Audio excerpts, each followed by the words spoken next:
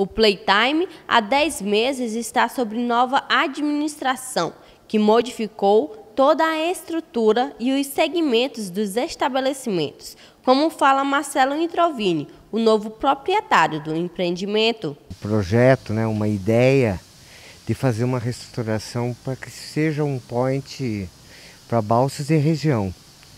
Então, nós criamos é, é um shopping, porque ele é diversificado, né? Então, hoje você encontra roupa fitness, você com chocolate, brinquedos, óculos, então são restaurante, né, uma praça de alimentação.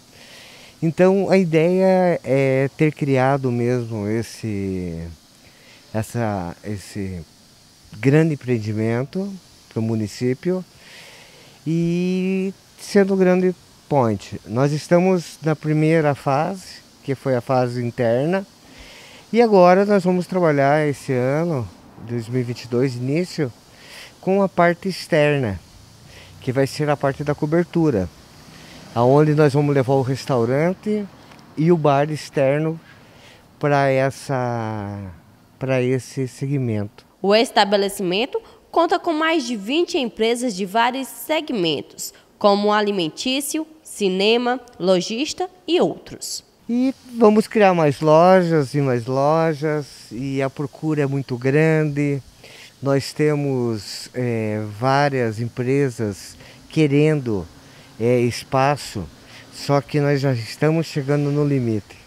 Então nós temos que criar alguns outros segmentos para criar espaço para lojas. Segundo o empresário, a aceitação do público à nova forma de estrutura está sendo de grande aceitação. Tá, hoje são 26 empresas que estão dentro do Playtime.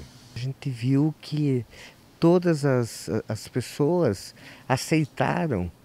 Então, 90% das pessoas que vêm aqui elogiam o, o lugar, né? Desde o atendimento no restaurante, desde as empresas que estão expostas. Então é um trabalho é, de está chegando um trabalho de, de qualidade para balsas.